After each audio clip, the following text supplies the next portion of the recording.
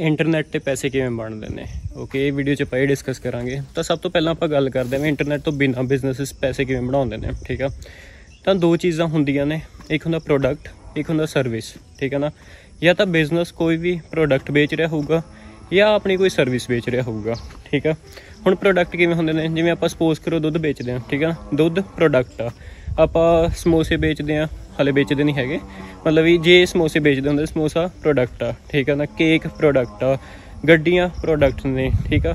ਹੋਰ ਚੀਜ਼ਾਂ ਇਹ ਪ੍ਰੋਡਕਟ ਨੇ। ਤਾਂ ਕੋਈ ਵੀ ਬਿਜ਼ਨਸ ਜਾਂ ਤਾਂ ਆਪਣਾ ਪ੍ਰੋਡਕਟ ਵੇਚੂਗਾ ਜਾਂ ਆਪਣੀ ਸਰਵਿਸ ਵੇਚੂਗਾ। ਸਰਵਿਸ ਕਿਵੇਂ ਹੁੰਦੀ ਆ? ਜਿਵੇਂ ਹੁਣ ਕਾਰ ਮਕੈਨਿਕ ਆ, ਠੀਕ ਆ?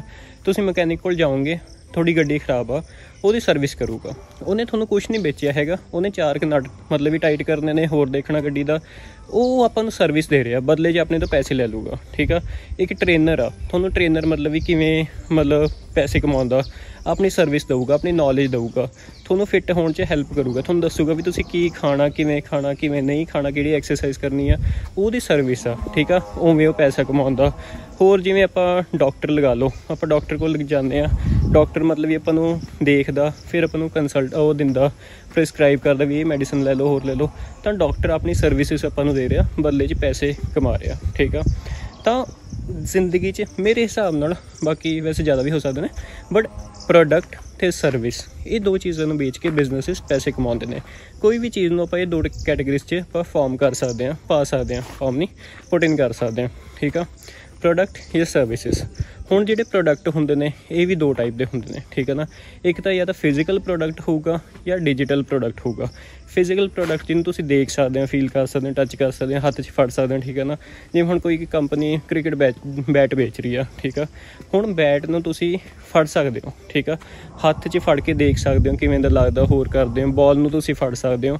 ਇਹ ਫਿਜ਼ੀਕਲ ਹੋ ਗਏ। ਡਿਜੀਟਲ ਹੁੰਦੇ ਨੇ ਜਿਹੜੇ ਦਿਖਦੇ ਨਹੀਂ ਹੈਗੇ। ਜਿਵੇਂ ਹੁਣ ਸਪੋਜ਼ ਕਰੋ ਦਿਖਦੇ ਤਾਂ ਹੈਗੇ ਨੇ ਬਟ ਮਤਲਬ ਵੀ ਫਿਜ਼ੀਕਲ ਫਾਰਮ 'ਚ ਨਹੀਂ ਹੁੰਦੇ ਹੈਗੇ, ਅਸਲੀ ਦੁਨੀਆ 'ਚ ਨਹੀਂ ਹੁੰਦੇ ਹੈਗੇ ਡਿਜੀਟਲ ਡਿਜੀਟਲੀ ਹੁੰਦੇ ਨੇ ਆਨਲਾਈਨ ਹੁੰਦੇ ਨੇ।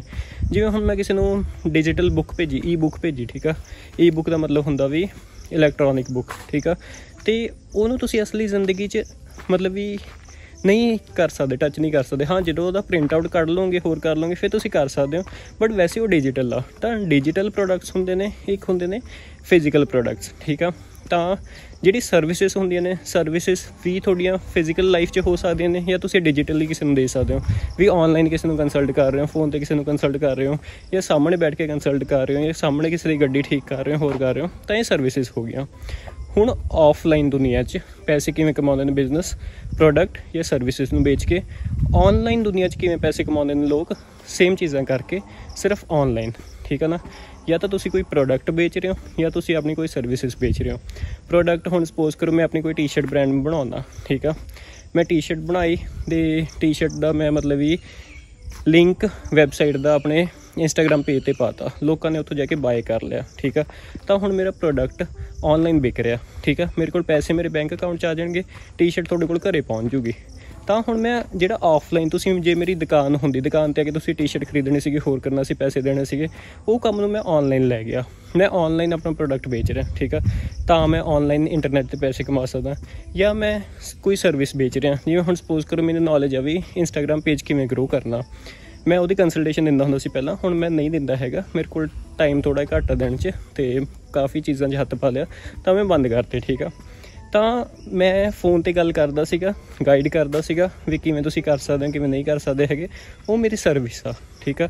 ਉਹਦੇ ਮੈਂ ਪੈਸੇ ਕਮਾ ਰਿਹਾ। ਹੁਣ ਜੇ ਤੁਹਾਨੂੰ ਕੋਈ ਸਿਖਾਵੇ ਵੀ ਵੈਬਸਾਈਟ ਕਿਵੇਂ ਬਣਾਉਣੀ ਆ, ਉਹ ਸਰਵਿਸ ਆ, ਠੀਕ ਆ? ਉਹਦੇ ਤੋਂ ਤੁਸੀਂ ਪੈਸੇ ਕਮਾ ਸਕਦੇ ਹੋ। ਤਾਂ ਆਨਲਾਈਨ ਵੀ ਤੁਸੀਂ ਦੋ ਤਰੀਕੇ ਨਾਲ ਮਤਲਬ ਪੈਸੇ ਕਮਾ ਸਕਦੇ ਹੋ। ਜਾਂ ਤਾਂ ਤੁਹਾਡੇ ਕੋਈ ਪ੍ਰੋਡਕਟ ਹੋਵੇ, ਜਾਂ ਤੁਹਾਡੀ ਕੋਈ ਸਰਵਿਸਿਜ਼ ਹੋਣ, ਉਹਨੂੰ ਵੇਚ ਕੇ ਪੈਸੇ ਕਮਾ ਸਕਦੇ ਹੋ। ਜਾਂ ਦੂਜਾ ਤਰੀਕਾ ਕੀ ਆ? ਕਿਸੇ ਹੋਰ ਕੰਪਨੀ ਦਾ ਕੋਈ ਪ੍ਰੋਡਕਟ ਆ, ਕਿਸੇ ਹੋਰ ਕੰਪਨੀ ਦੀ ਕੋਈ ਸਰਵਿਸ ਆ, ਤੇ ਤੁਸੀਂ ਉਹਨਾਂ ਦੀ ਹੈਲਪ ਕਰ ਰਹੇ ਹੋ ਉਹਨੂੰ ਵੇਚਣ ਦੇ ਵਿੱਚ।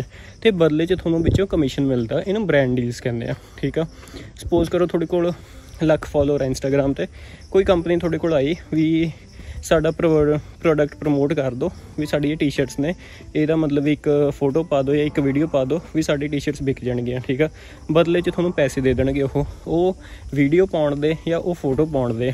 ਤਾਂ ਹੁਣ ਤੁਸੀਂ ਆਪਣਾ ਕੋਈ ਪ੍ਰੋਡਕਟ ਨਹੀਂ ਵੇਚ ਰਹੇ, ਆਪਣੀ ਕੋਈ ਸਰਵਿਸਿਜ਼ ਨਹੀਂ ਵੇਚ ਰਹੇ, ਬਲਕਿ ਕਿਸੇ ਹੋਰ ਨੂੰ ਮਤਲਬ ਵੀ ਹੈਲਪ ਕਰ ਰਹੇ ਹੋ ਉਹਦੀ ਸਰਵਿਸਿਜ਼ ਤੇ ਉਹਦਾ ਪ੍ਰੋਡਕਟ ਵੇਚਣ ਦੇ ਵਿੱਚ, ਠੀਕ ਆ? ਜਾਂ ਸਪੋਜ਼ ਕਰੋ ਤੁਹਾਡੇ ਕੋਲ ਕੋਈ ਕ੍ਰੈਡਿਟ ਕਾਰਡ ਵਾਲੀ ਕੰਪਨੀ ਆਈ ਵੀ ਸਾਡਾ ਮਤਲਬ ਵੀ ਪਾ ਦਿਓ ਵੀਡੀਓ ਪਾ ਦਿਓ ਵੀ ਸਾਡਾ ਕ੍ਰੈਡਿਟ ਕਾਰਡ ਬਹੁਤ ਵਧੀਆ ਲੋਕ ਲੈਣ, ਹੋਰ ਕਰਨ।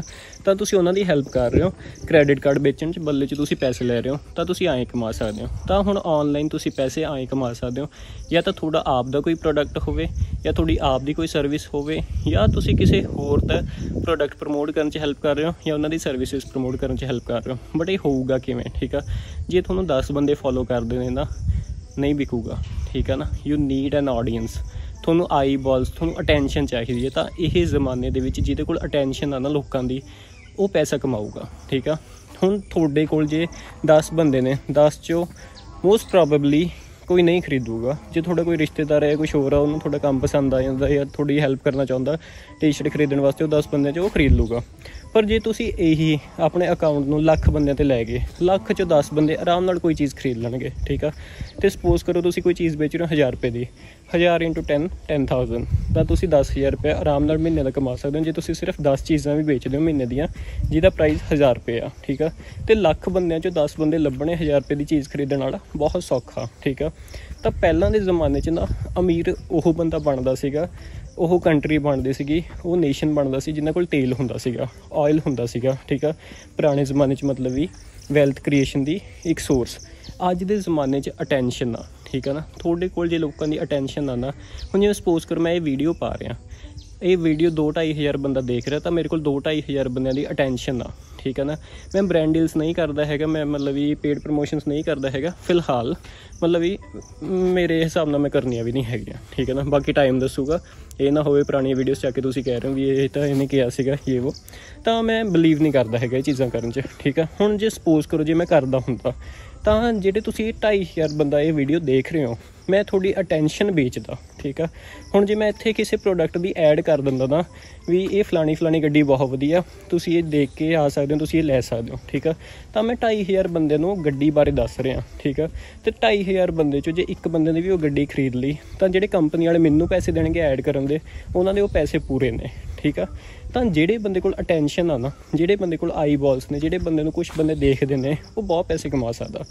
ਤਾਂ ਤੁਸੀਂ ਸਭ ਤੋਂ ਜ਼ਿਆਦਾ ਧਿਆਨ ਦੇਣਾ, ਜੇ ਤੁਸੀਂ ਇੰਟਰਨੈਟ ਤੇ ਪੈਸੇ ਕਮਾਉਣਾ ਚਾਹੁੰਦੇ ਚਾਹੁੰਦੇ ਹੋ ਵੀ ਤੁਸੀਂ ਆਪਣਾ ਅਕਾਊਂਟ ਕਿਵੇਂ ਗਰੋ ਕਰੋ, ਠੀਕ ਆ? ਤੁਹਾਡੇ ਕੋਲ ਅਟੈਂਸ਼ਨ ਹੋਣੀ ਚਾਹੀਦੀ ਹੈ 10 ਬੰਦਿਆਂ ਦੀ ਅਟੈਂਸ਼ਨ ਨਾਲ ਨਹੀਂ ਕਮਾਈ ਹੋ ਸਕਦੀ। 100 ਬੰਦਿਆਂ ਦੀ ਅਟੈਂਸ਼ਨ ਨਾਲ ਨਹੀਂ ਹੋ ਸਕਦੀ। ਹਜ਼ਾਰਾਂ 'ਚ ਜਾ ਕੇ ਹੋਊਗੀ, ਠੀਕ ਹੈ ਨਾ? ਹੁਣ ਜਿਵੇਂ ਮੇਰਾ ਪ੍ਰੋਡਕਟ ਆ। ਮੈਨੂੰ ਫਿਟਨੈਸ ਦਾ ਬਹੁਤ ਸ਼ੌਂਕ ਆ, ਠੀਕ ਹੈ ਨਾ? ਮੈਂ ਮਤਲਬ ਵੀ 2016 ਪਤਾ 17 ਤੋਂ ਰੋਜ਼ ਵਰਕਆਊਟ ਕਰ ਰਿਹਾ, ਠੀਕ ਹੈ ਨਾ? ਤਾਂ ਮੈਨੂੰ ਨੌਲੇਜ ਹੈਗੀ ਆ ਡੀਸੈਂਟ ਨੌਲੇਜ ਹੈਗੀ ਆ।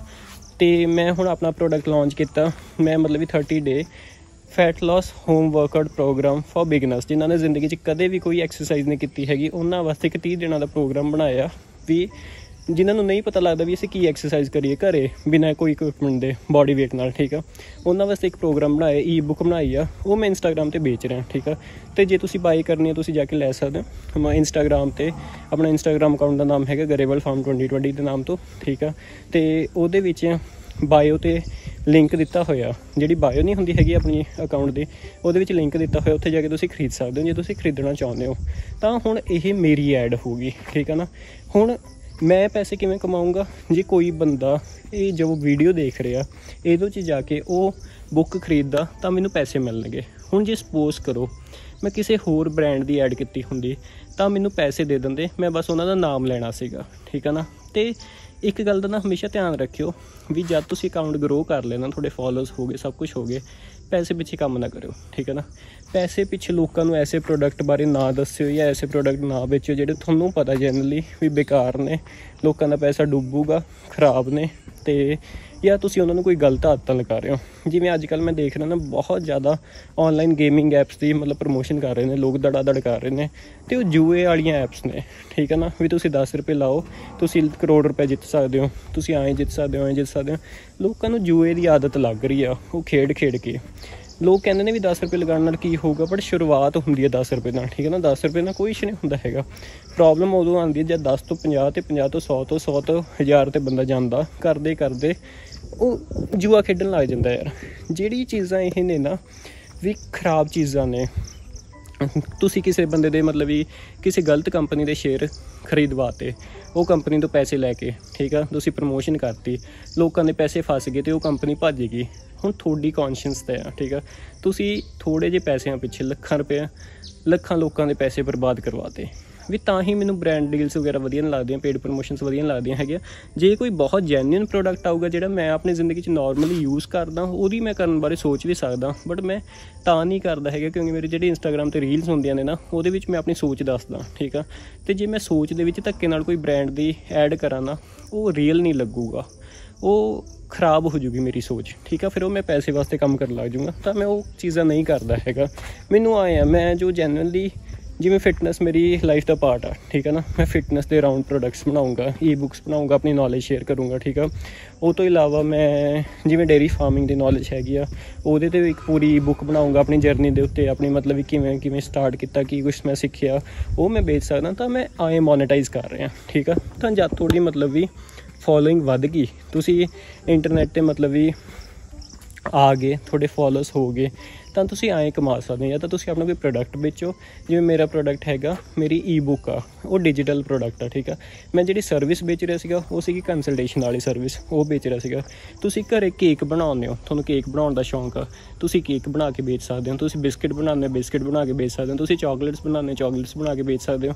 ਤੁਸੀਂ ਮਤਲਬ ਵੀ ਤੇ ਫੋਲੋਇੰਗ ਨਾ ਗਰੋ ਹੋਣ ਦਾ ਵੇਟ ਨਾ ਕਰਿਓ।